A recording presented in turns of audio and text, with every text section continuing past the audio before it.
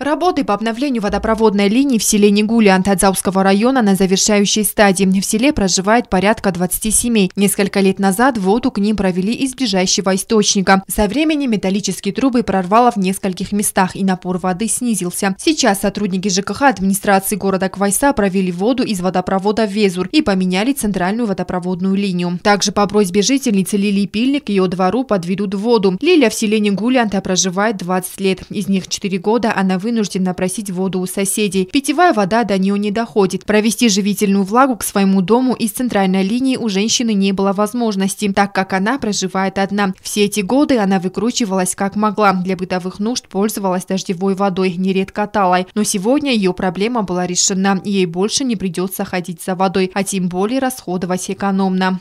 Была вода была, а потом с водопроводом что-то случилось. Я пользовалась летом дождевой водой, зимой снегом.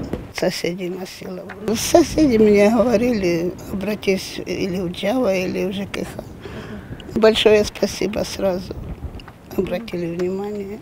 Սոդունի դուն սան շդիսը օդամա նոլֆոկուտո սա սոդու վաճիգա նեգեցլիս սա տրուվոտ հադար նոլվազիչ մա բիրարատ տեսկոդոդիս ما عویت خیلی نفع کرد دادم من دو سخیت ریموند کرد تو ایران من چقدر راست اگر من پریبلیم کو بازت دم من هوش سلگوی مگه پریبلیم واد ربوش دستم فت جگه قوم ایونا گه سلگوی مگه سرسته کو فلسطین таве хобордар бози там дуд сам кернеша решение спринимот куд там шамай дар итак е, везури водовудай ровожа мужей дом. Сороковой диаметр е, пенде труба ровохтам 250 метр у явроте журналистви қава остагмашава мяу хуше рдагай уже еще столчи дар яхи хажорма как добавил директор ГУП ЖКХ города Квайса Алан Хугаев, после доведения всех работ до конца сельчане будут снабжены водой в полном объеме. Анжела Кукоева, Сармат Гузитаев, Лалита Деева. Информационный выпуск сегодня.